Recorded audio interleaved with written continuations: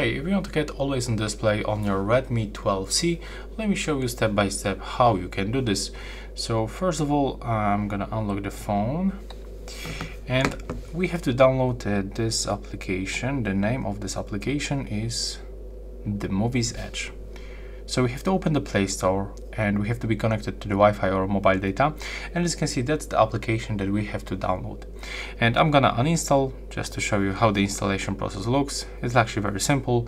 So you'll have this uh, blue button that you have to click.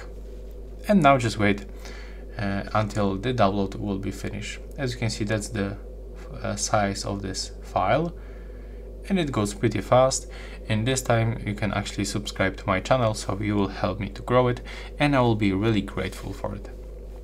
Now when the download is finished we can uh, finally open it and here we have to require the permission to draw over the other apps. So from the next screen uh, we have to get mm, the Muviz Edge application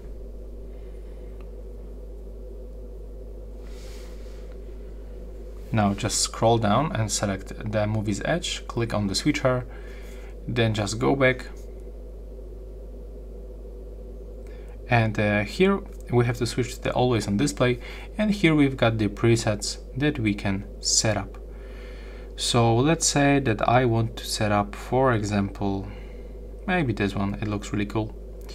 Uh, so here, if you want to apply, just click right here, but also you can edit this option this always on display by tapping right here. So you can change uh, the clock style and also the clock size. But each time you make these changes you will have this star icon. And it means that you have to get the unlock I mean the premium version of this application. So if you if you don't want to pay for it you just have to stay with all default settings. And if you want to set up your lock screen click apply it's applied quickly as you can see. Then click X and go to the settings. And now there's the information uh, that we have to click the always on display. And you have to be sure and uh, that you've got all the permissions turned on. So we have to click on the required permission and tap to the show on the lock screen. Click to always allow and the same for the pop-up windows while running in the background. So click on it then just go back we can also adjust some parameters of the bright of the brightness.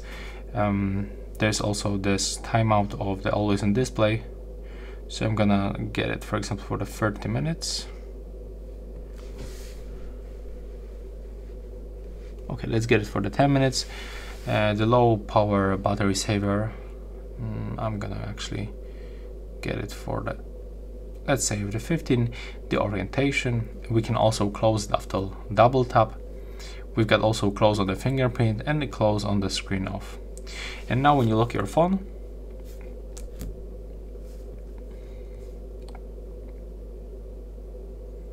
as you can see we've got this uh, always on display. So that's all for this video, please remember to subscribe to my channel and that's all, bye bye!